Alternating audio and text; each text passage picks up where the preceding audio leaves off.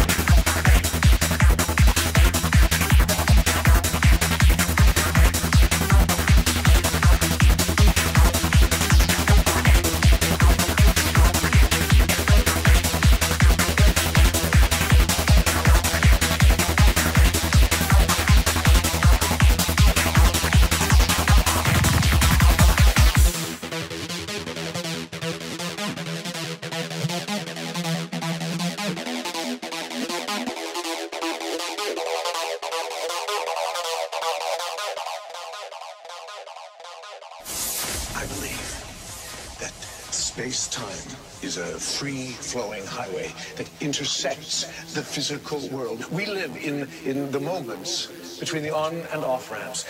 Theoretically, to, to travel through time, one merely needs to find a way onto the highway. Okay, so, so you're saying that this is actually possible to, to travel into the future?